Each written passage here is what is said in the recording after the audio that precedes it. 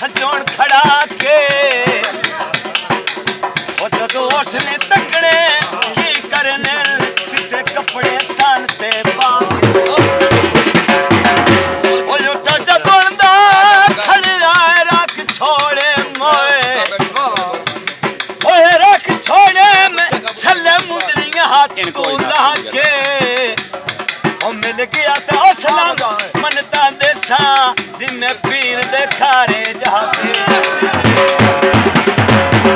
ਪੜ ਪੜੋ ਜੀ। ਮੈਨੂੰ ਬੰਦਿਆ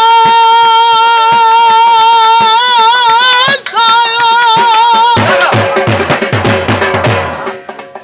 ਸਮਝ ਜਾਂਦਾ ਹੰਝੂਏ ਸੱਪ ਦਾ ਬੋਤ ਰਹੀ। ਹਾਂ। ਸੱਪ ਦਾ ਬੋਤ ਰਹੀ। ਇੰਨੇ ਸ਼ਕਲ ਇੱਕੋ ਸਹੀ هي ز پاري سڄان مر آ ڇڙداي رات دي وندا شوقي اس بندا دا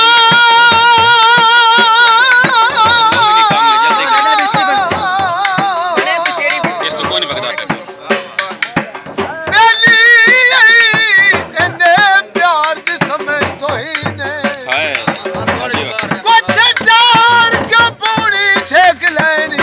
por acá para allá. Eh,